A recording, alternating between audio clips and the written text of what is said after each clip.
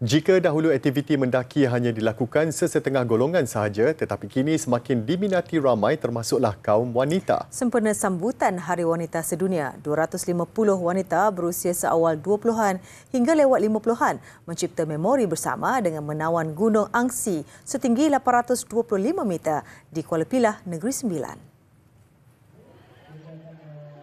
Penyertaan mereka sekaligus membuktikan golongan wanita juga mampu melakukan aktiviti lasak. Bagi seorang guru swasta, Nur Azmaniza Muhammad, 37 tahun yang kali pertama melakukan aktiviti ini, dia sememangnya meminati aktiviti pendakian sejak kecil.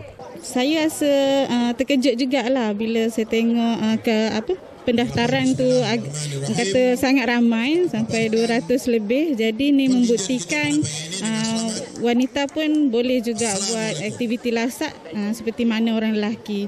Uh, malah ada juga orang lelaki yang tak berminat dengan aktiviti-aktiviti macam ni. Begitu juga bagi Datin Nurani Hussein, 59 tahun, usia bukan penghalang baginya apabila sudah 78 kali menawan puncak Gunung Angsi yang mempunyai trek sepanjang 4.5 km itu.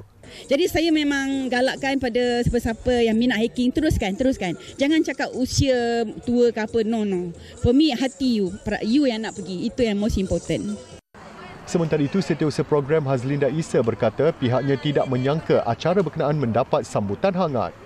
Hari ini of course lah sebab kita buat program untuk Hari Wanita Antarabangsa. Jadi memang kita nak wanita yang terlibat. Khas untuk uh, wanita sahaja dan juga untuk uh, daripada Persatuan Malim Gunung sendiri kita memang uh, untuk bahagian uh, guide semua wanita pendaftaran wanita untuk sabun wanita